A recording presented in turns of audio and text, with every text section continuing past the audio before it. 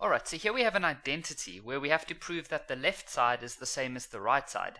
So we'll typically start on the more complicated side, which in this case is the left hand side.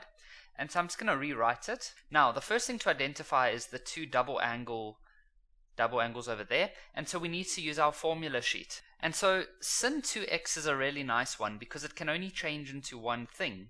However, cos 2x, there are three different options, but I can assure you that you never have to guess.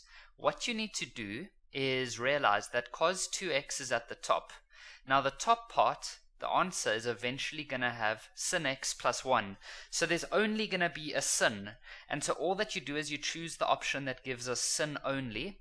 And so that's the one that we are going to use. It's as easy as that. And so we say sin x minus, then the golden rule to remember is always do that in a bracket. So we're going to change it to 1 minus 2 sin squared x then at the bottom, we can change that sin 2x to 2 sin x cos x, like that. Next step, just simplify.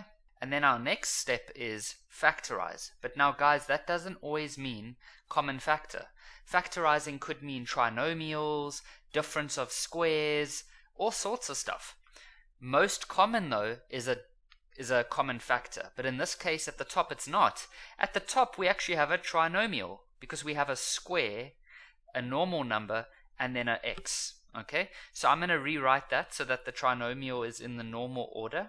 Now, if you had to factorize the top, it's a trinomial, and so that's going to give us 2 sin x minus 1 and sin x plus 1.